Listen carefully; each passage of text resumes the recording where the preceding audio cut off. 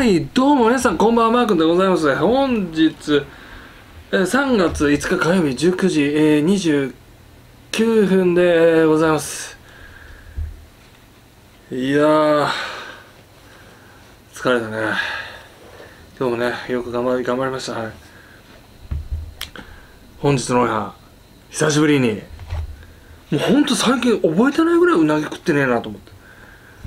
えー、うなぎうなかば焼きうな重でございますを用意しました。それでは早速開けてみたいと思います。オープン。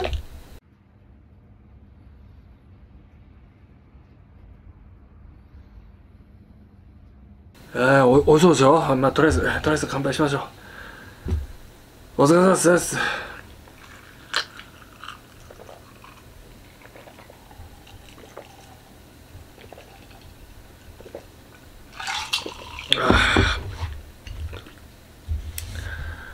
うまい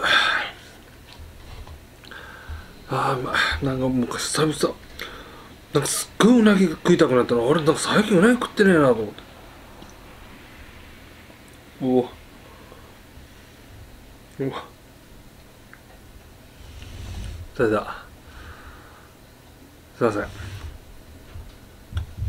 お先に。いただきます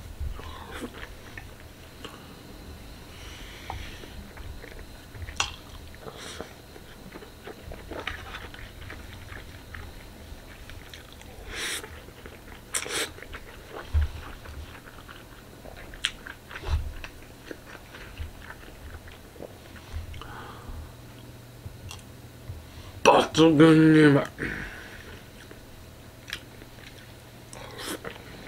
あ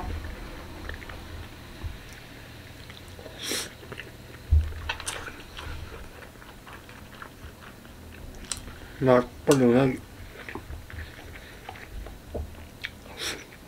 やっぱりうなぎね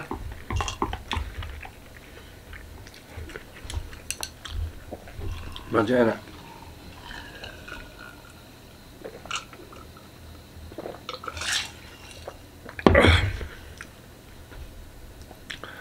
元気出るわ。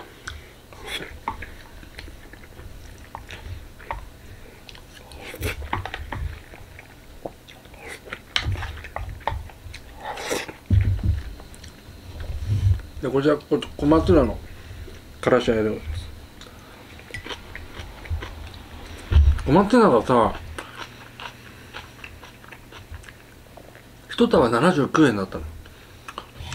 二束買うと100円っていうの。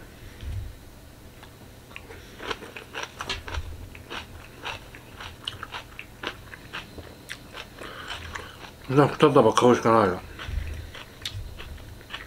で2束買って全部茹でてさジップロックのこうやって入れて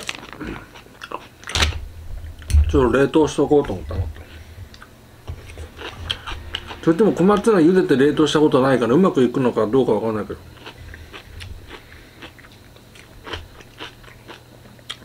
冷凍しといてさちょっと味噌汁にポンと入れるとかさうどんとかね食べる時にポンと入れるとかいいんじゃないかなと思ったんだけど。上手にいこうか。うん。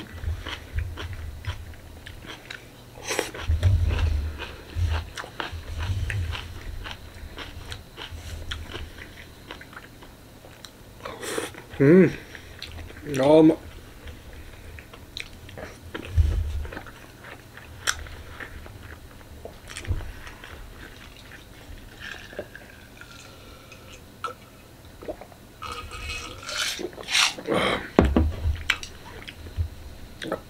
ぱりうなぎいいな、うん、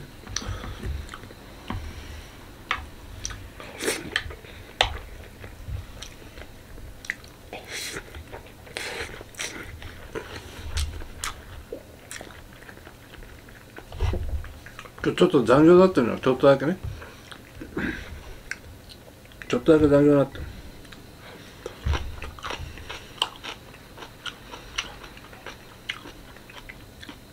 で家帰って。小松菜茹でてこんなこっちことしたらうなぎ作ったり。うなぎ作ったりとかうなぎ温めたりさ。いつもその調理する時調理しながらお風呂入れるのよ。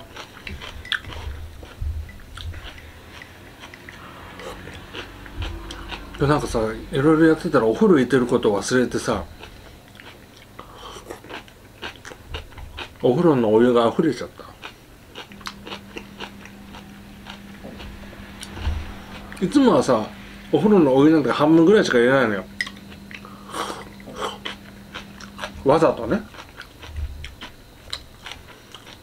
わざと半分ぐらいしか入れないんだけど。溢れちゃった。あうめ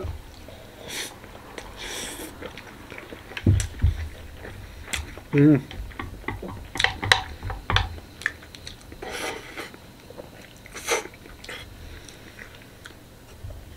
あーうまいなほんと。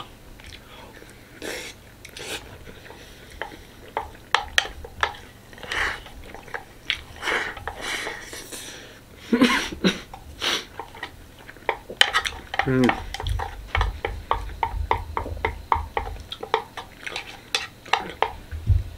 あれもしかしたらマー君これ夏にホットモットのうなぎ食った以来以来じゃない？うなぎ食うの。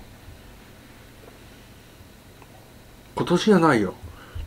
今年夏にってさもう2024年の3月なんだ。去年の夏に。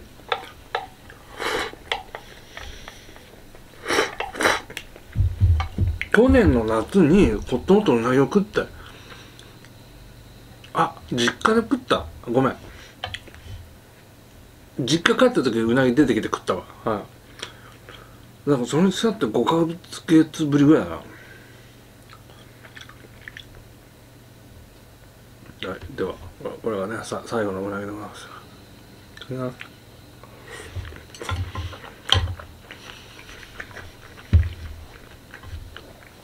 やっぱね。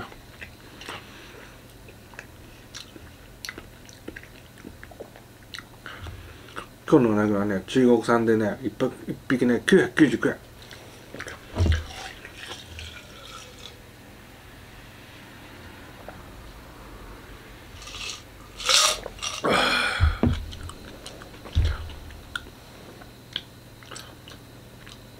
美味しかった、うん、お腹いっぱいお腹いっぱいになった。うなぎ食ったからねもう。疲労回復。ここ間違いないね。小松菜もね食べたしね。うん。よかったんじゃない？うん。それでは。ごちそうさまでした。